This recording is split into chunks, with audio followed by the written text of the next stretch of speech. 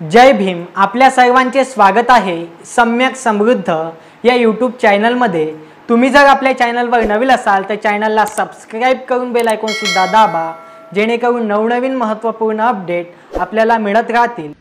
शासनाने बारा बलुतेदारांकडे अजिबात लक्ष दिलं नाही. कोविडमध्ये लॉकडाऊनमध्ये कुंभारासाठी लढावं लागलं. नाभिक समाजासाठी लढावं लागलंय. आणि आता दिसतंय की जे मच्छीमारी व्यवसाय करतात की ज्यांना कोळी म्हटल्या जातं काही ठिकाणी भोई म्हटल्या जातं काही ठिकाणी दिवर म्हटलं जातं यांच्या समस्या फार दिवसेंदिवस वाढत चाललेल्या आहेत.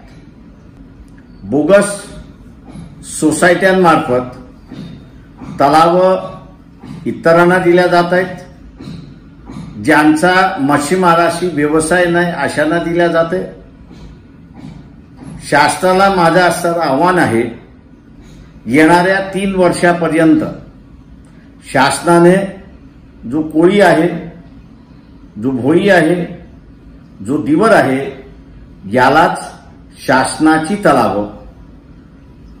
त्याच्याचबरोबर धरणं लहान असतील मोठी असतील किंवा नदी काठती मासेमारी करण्याचा व्यवसाय ह्यांनाच देण्यात यावा जेणेकरून ते स्वतःच्या पायावरती पुन्हा उभे राहू शकतात आणि आपलं जनजीवन सुरुवात करतील.